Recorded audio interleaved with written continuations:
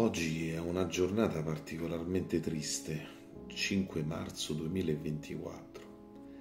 Da quando questa mattina ho sentito uh, su Vatican News la notizia e poi rigirata dappertutto che la Francia esulta perché il diritto di abortire adesso è costituzionale.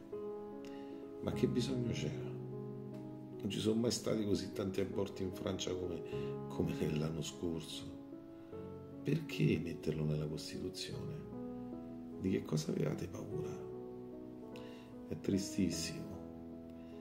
È triste perché forse avevano paura della scienza, del fatto che si possa liberamente discutere di alcuni argomenti e ragionarci un pochettino su, anche alla luce dei fatti. Perché in fondo la scienza ci dice che, a livello scientifico tra un giorno prima del terzo mese e un giorno dopo il terzo mese di gravidanza. Ma che cambia? Non lo sappiamo. La vita non la possediamo. Una sola cosa sappiamo, che quando parte un embrione, lì a un certo punto c'è uno sviluppo senza soluzione di continuità. Ma perché io non posso fare il funerale a un mio caro anziano che è morto? Devo aspettare 24 ore. Perché? perché ciò che ci sembra così evidente è morto non è così evidente, ci dice la scienza.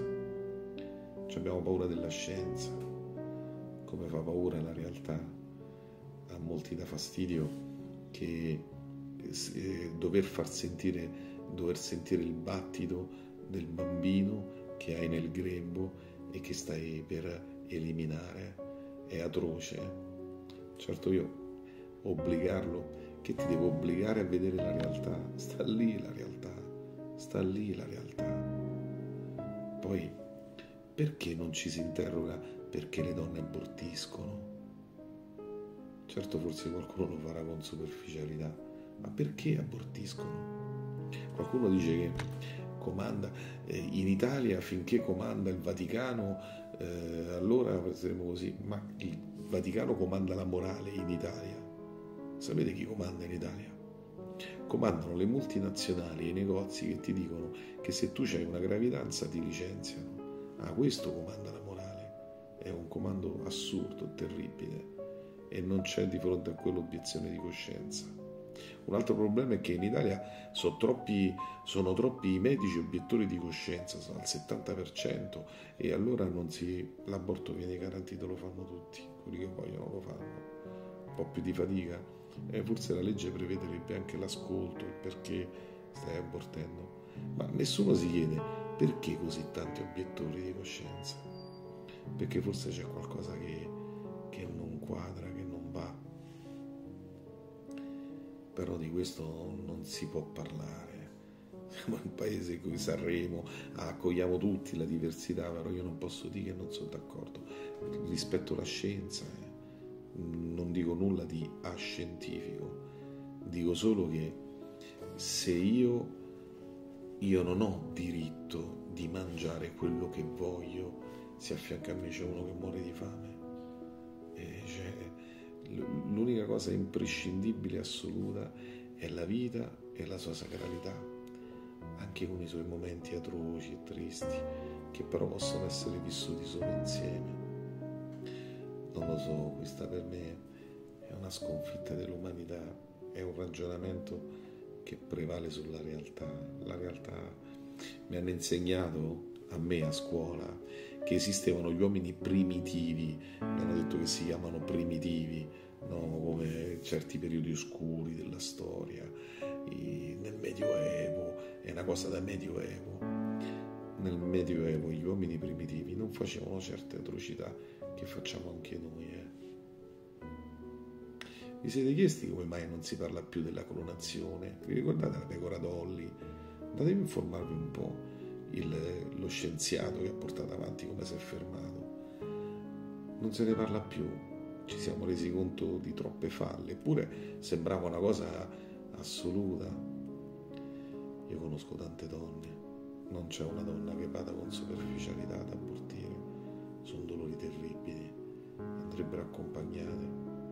E certo se una donna non ha il dono di incontrare la misericordia di Gesù, non lo so, a me sembra che vivano spente, non vivano più la pienezza.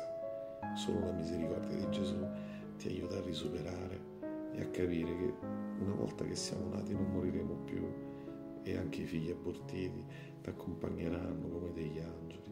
Devi solo imparare a chiedere scusa.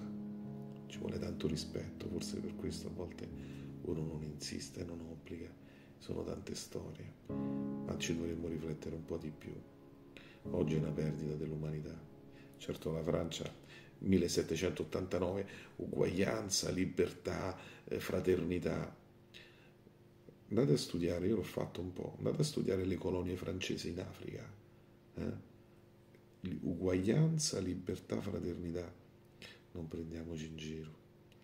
Certo a volte pure noi cattolici abbiamo fatto un po' di trionfalismo, il trionfalismo fa sempre male, però oggi l'umanità è, ha avuto un colpo, io ho sentito un colpo al cuore oggi.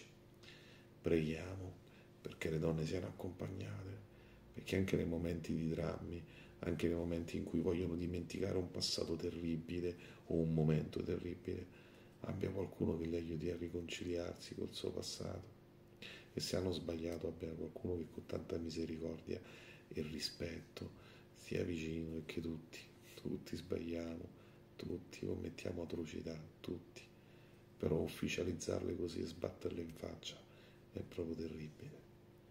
La Madonnina ci accompagni, la Madonnina che ha tanto amato la Francia, a andarci, forse per questo sarà andato lì, perché la Madonna si, si mette nelle situazioni più terribili e più dure. Scusate, sono stato un po' lungo, ma è una condivisione, chi la vorrà sentire la sentirà. Oggi è un giorno triste e il Signore saprà trasformare la tristezza in occasione di crescita. Non si tratta di vincere, si tratta però di tutelare l'umanità e i bambini. Su questo dovremmo muoverci un po' di più, tutelare le donne che non hanno altra via d'uscita. È terribile che non abbiano altra via d'uscita. Io me ne sento un po' responsabile. Certo c'è da soffrire, o forse c'è da portare avanti un figlio in maniera condivisa. Si è sempre fatto nella storia questo incaponimento, è molto pericoloso.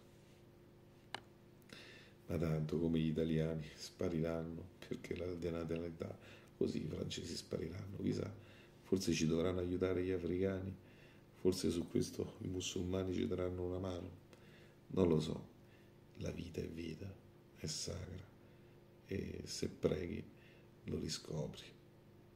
Che il Signore ci aiuti. Madre Teresa diceva che la, l'aborto è la più grande minaccia per la pace.